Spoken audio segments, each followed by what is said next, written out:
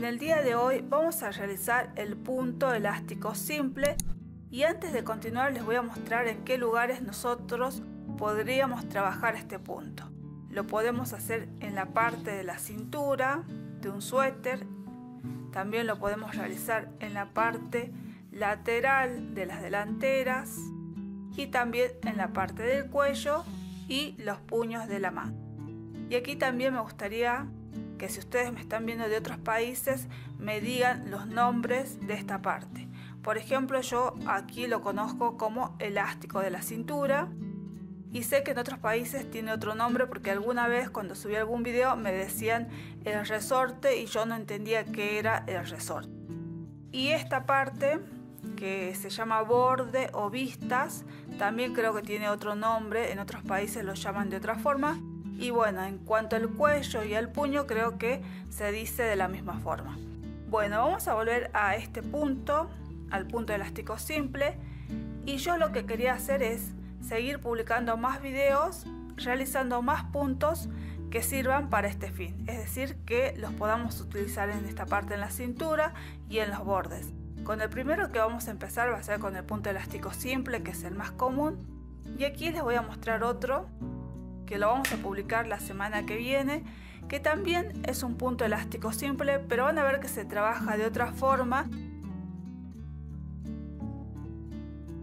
Ahora vamos a trabajar el punto elástico simple y este punto es múltiplo de 2, pero también lo podemos trabajar en un número impar, es decir que lo podemos hacer de cualquier cantidad de puntos.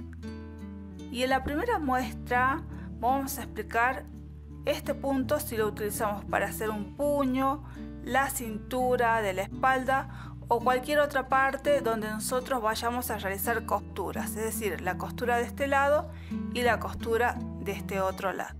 Bueno, antes de comenzar primero tenemos que saber que tenemos los puntos de orillo, que es el primero y el último punto.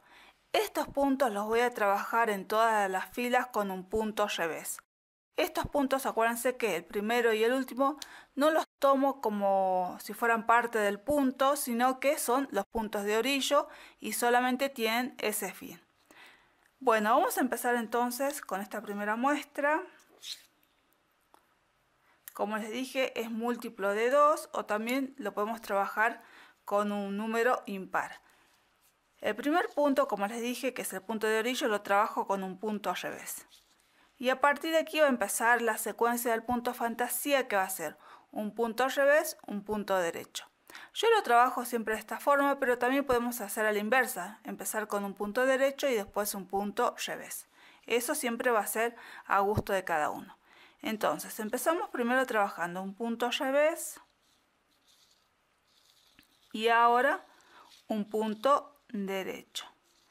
Esa es la secuencia de toda la fila de nuevo un punto revés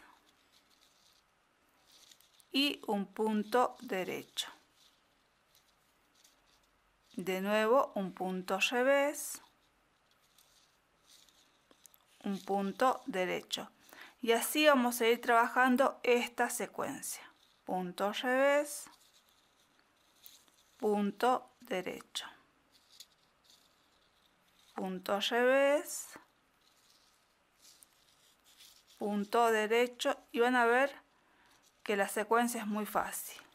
Punto revés y punto derecho. Llegamos al final y este último punto es el punto de orillo y como les dije siempre el primero y el último lo trabajo con un punto revés. Terminamos de hacer la fila 1 y antes de continuar con la fila 2 Acuérdense que yo estoy trabajando con un número par de puntos. Si yo trabajara con un número impar, es decir, que la cantidad de puntos fuera este, van a ver que este último punto siempre acuérdense que va a ser un punto revés porque es el punto de orillo. Y el otro punto, el último del punto elástico simple va a ser un punto revés. Solamente van a tener en cuenta eso, es que no van a terminar con un punto derecho, sino que van a terminar con un punto revés si la cantidad de puntos es impar. Bueno, ahora giramos el tejido y vamos a trabajar la fila 2 Y van a ver que la fila 2 se teje tal cual tejimos la fila 1. El primer punto lo trabajo con un punto revés. Y ahora empezamos con la secuencia que era un punto revés, un punto derecho, un punto revés, un punto derecho. Y así vamos a ir trabajando. Un punto revés, un punto derecho. Un punto revés y un punto derecho. Van a ver que estamos tejiendo tal cual tejimos la fila 1.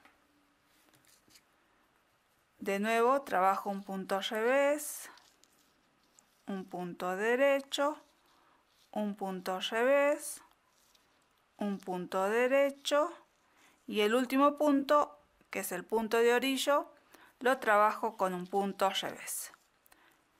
Bueno, van a ver que cuando trabajamos con, con cantidad de puntos que sean pares, la fila 1 la vamos a ir repitiendo a lo largo de todo el tejido. Y es la única fila que repetimos para hacer este punto fantasía. Ahora, si nosotros trabajamos con números impares, nuestro punto estaría así. Van a ver que yo voy a sacar acá este punto, lo voy a hacer desaparecer y aquí ya voy a tener un número impar. En la primera fila van a venir hasta acá, el último punto que van a trabajar va a ser un punto revés y después trabajan el punto de orillo con un punto revés. Giramos el tejido y al hacer la fila 2 acá el primer punto, que es el punto de orillo, lo trabajo al revés. Y aquí van a ver que no empieza igual que la fila 1, sino que yo voy a empezar primero tejiendo un punto derecho y recién voy a empezar con la secuencia que va a ser un punto revés, un punto derecho y así. Un punto revés, un punto derecho y de esa forma voy a ir tejiendo. Esa sería la única diferencia si estamos trabajando con número par o impar. Bueno, yo voy a repetir la fila bueno, vamos a empezar entonces. El primer punto lo trabajo con un punto revés porque es el punto de orilla.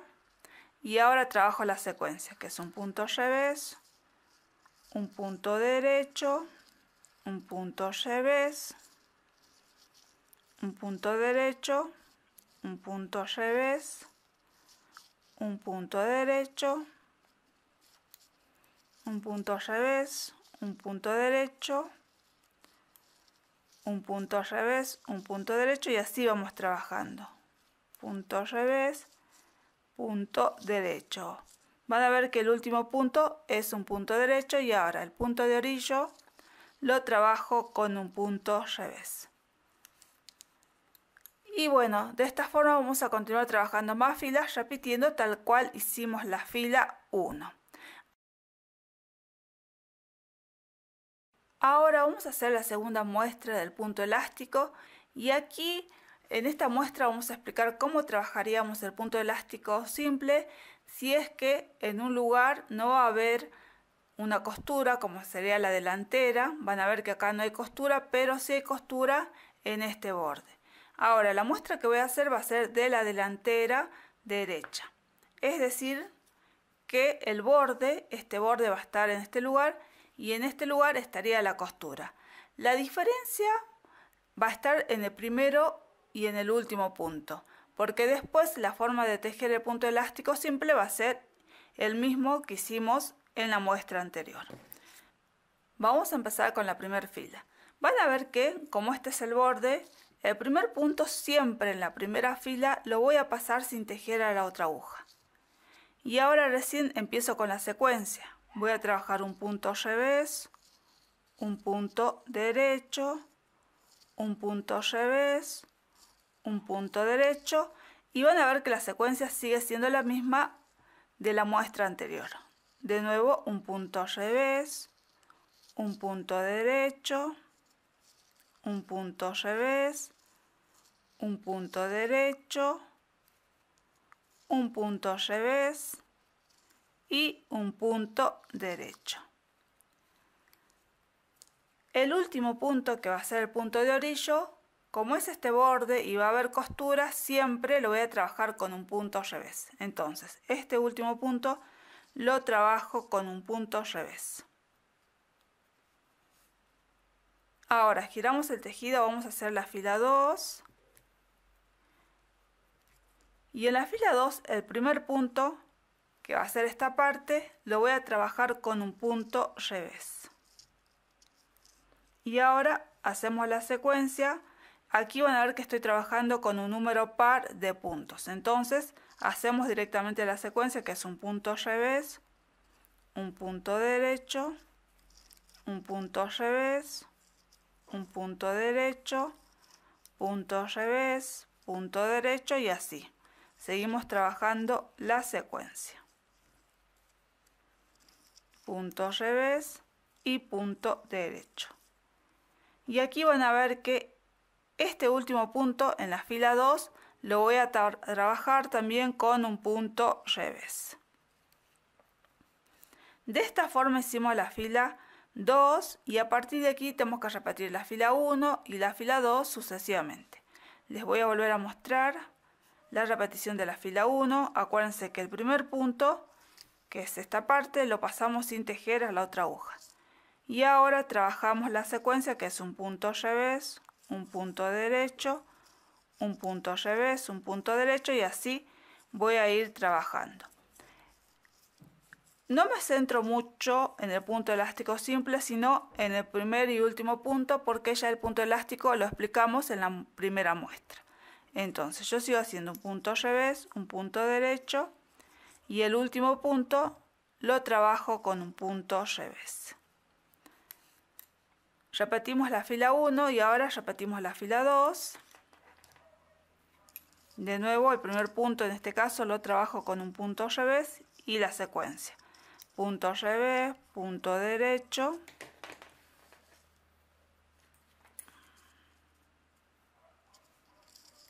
punto revés, punto derecho, punto revés, punto derecho y así. Yo voy a trabajar hasta el final, punto revés, punto derecho y aquí lo que les quiero mostrar es que el último punto lo trabajamos con un punto revés en la fila número 2. Bueno, de esta forma les mostré cómo hay que trabajar. Esta parte lateral les va a quedar de esta forma y en la otra, en el otro lateral les va a quedar estos nuditos para hacer después la costura. Ahora vamos a explicar la tercera muestra y esto va a ser para la delantera izquierda. En este caso se trabaja a la inversa, se trabaja en forma de espejo como se conoce muchas veces cuando uno lee un patrón y dice trabajar en forma de espejo, bueno, ahora yo les voy a mostrar un poquito cómo sería trabajar en forma de espejo. Nosotros trabajamos la delantera derecha, el borde está de este lado y de este lado sería la costura. En el borde izquierdo va a ser a la inversa. Mi borde, este borde va a estar de este lado y la costura va a estar aquí. Bueno, ahora les voy a mostrar cómo vamos a empezar. Aquí van a ver que Vamos a empezar trabajando el primer punto con un punto revés. Y ahora la secuencia que es un punto revés, un punto derecho. Punto revés, punto derecho. Punto revés, punto derecho, punto revés, punto derecho y así. Punto revés y punto derecho y el último punto, que es el punto de orillo, lo trabajo con un punto revés. Hicimos la fila 1, ahora damos vuelta el tejido, vamos a hacer la fila 2 y van a ver que la fila 2, aquí va a estar el cambio. El primer punto no lo vamos a tejer, lo vamos a pasar sin tejer a la otra aguja y vamos a empezar haciendo la secuencia que era un punto revés, un punto derecho, punto revés, punto derecho y así sucesivamente. Bueno, yo sigo trabajando el punto elástico y les quiero mostrar cómo vamos a trabajar el punto de orillo. Bueno, trabajé la última secuencia y el punto de orillo lo trabajo con un punto revés. De esta forma hicimos la fila 2 y a partir de aquí tenemos que repetir la fila 1 y la fila 2 sucesivamente. Voy a hacer un poquito de repetición de filas, voy a repetir la fila 1, el primer punto y el último punto los trabajo con punto revés. Entonces, punto revés y ahora la secuencia. Punto revés, punto derecho, y así. punto revés, punto derecho y así. Aquí trabajo rápido el punto elástico porque lo importante es ver cómo hacemos el primero y el último. Bueno, llegamos al final y el punto que me queda, que es el punto de orillo, lo trabajamos con un punto revés. Hicimos la repetición de la fila 1, damos vuelta el tejido, vamos a hacer la repetición de la fila 2. Y aquí van a ver que el primer punto siempre lo paso sin tejer a la otra aguja. Y ahora empezamos con la secuencia que es un punto revés, un punto derecho, un punto revés, un punto derecho y así sucesivamente.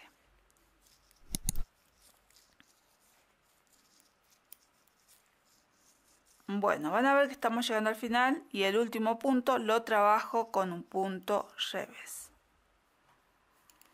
De esta forma trabajamos la delantera izquierda. Ahora les voy a mostrar. Cuando nosotros ya terminamos de hacer las prendas, este borde, que va a ser igual que este, va a quedar así. Y este borde, que va a ser este en este lado, va a quedar así y así estarían realizadas las delanteras. Y aquí les va a quedar los nuditos y en esta parte también los nuditos para que ustedes puedan hacer después la costura.